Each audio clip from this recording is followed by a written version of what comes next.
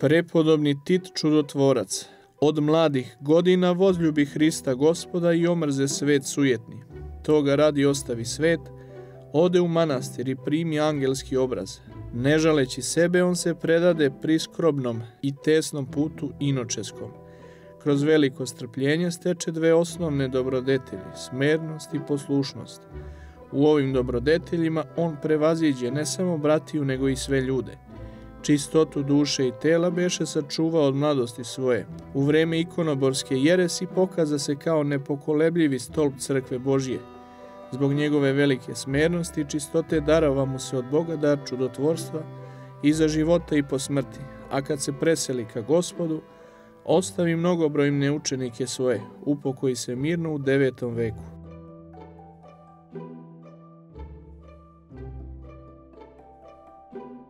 Sveti mučenici Amfijan i Edesije, dva mladića, dva brata rođena, iz grada Patare, od roditelja znamenitih, no neznabožnih.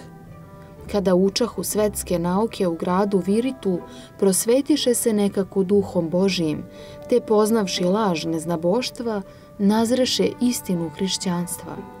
Pa kad se vratiše doma, ne mogoše živeti više sa neznabožnim roditeljima i srodnicima, nego tajno odbegoše u Kesariju Palestinsku, prezviteru Pamfilu poznatom po svetosti i duhovnoj učenosti. Kod Pamfila se podučavahu zakonu Božijem dan i noć i upražnjavahu u podvizima hrišćanskim. Za Amfijana se kaže da telom beše 20 godina star, a razumom i velikodušnjošću stoletan. Kada nasta gonjenje, u vreme Maksimina, mnogi hrišćani pobegoše iz grada i sakriše se, dok se drugi dragovoljno i radosno predadoše u ruke mučitelja, da bi postradali za ime onoga koji je prvo za njih postradao. Amfijan bude među ovim poslednjim.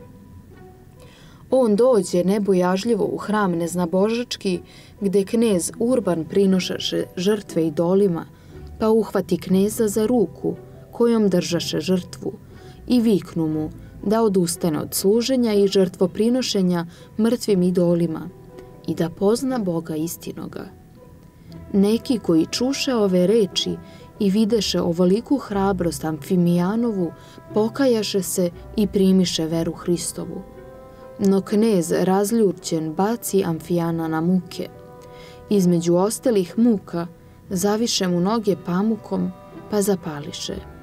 No kad osta živ, baciše ga u more sa kamenom o vratu, a more se uzburka i izbaci telo mučenikovo u grad. Edes je bi najpre poslan u bakarne rudnike u Palestinu, potom odveden u Misir.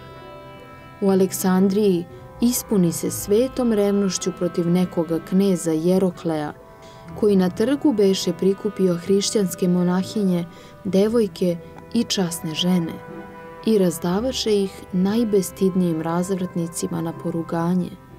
Ispuni se Edesije svetom revnošću i udari šamar beščesnome knezu. Zbog toga bi mučen i u more utopljen, kao i brat mu Amfijan.